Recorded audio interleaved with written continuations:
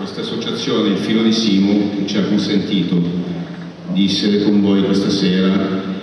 e credo che il Filo di Simo sta facendo una cosa veramente fantastica, ossia aiutare i ragazzi